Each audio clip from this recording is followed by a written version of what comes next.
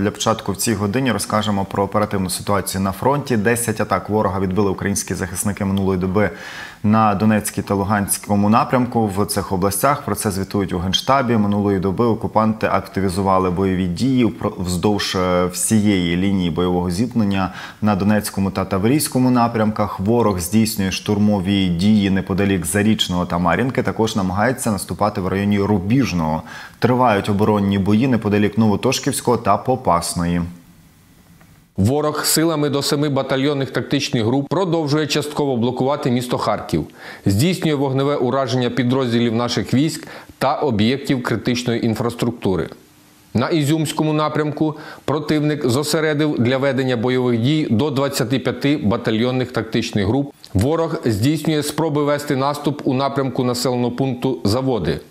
Вийшов на північній околиці Дібровного, намагається закріпитись на досягнутому рубежі. 20 квітня цього року у центральну районну лікарню міста Новоайдар було доставлено чергову партію поранених військовослужбовців Збройних сил Російської Федерації, близько 220 осіб та понад 50 тіл загиблих загарбників. Крім того, батальйонна тактична група, яка діяла на Курахівському напрямку, зазнала значних втрат в живій силі до 250 осіб та втратила до 10 одиниць реактивних і ствольних артилерійських систем.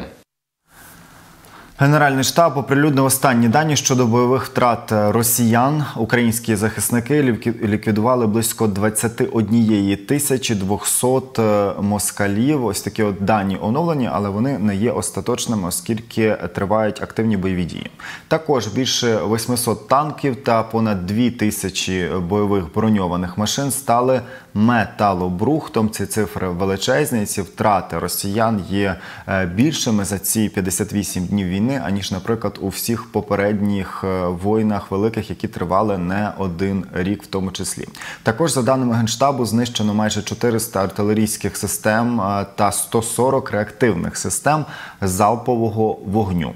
У росіян мінус 69 засобів протиповітряної оборони. Більше не літатимуть у небі над Україною 176 російських літаків, 153 гелікоптери та ще 172 безпілотники. Крім того, в окупантів стало менше автомобільної техніки.